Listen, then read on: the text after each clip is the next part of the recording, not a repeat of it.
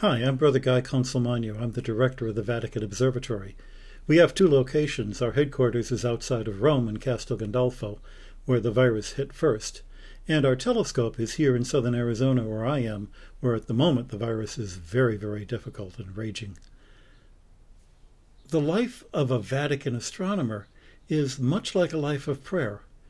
We spend a lot of our time alone, alone with our telescope, alone with our computers, alone contemplating the universe, just as a person in prayer is alone with God.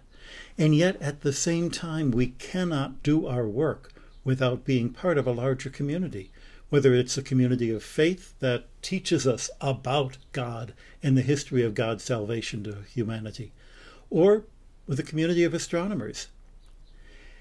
This conflict, this division between the time alone and the time with other people has really been heightened during the time of the coronavirus.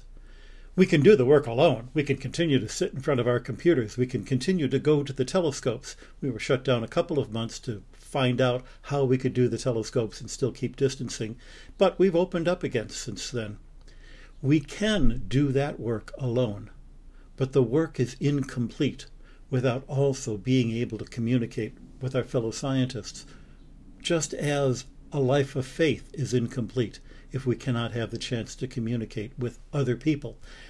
And having that part of it taken away from us has made us all the more aware of how important that is for us both as people of faith and as people of science. Science is the conversation we have about what we've discovered in the universe. And religion is the conversation we have about what we have discovered when we encounter God one on one.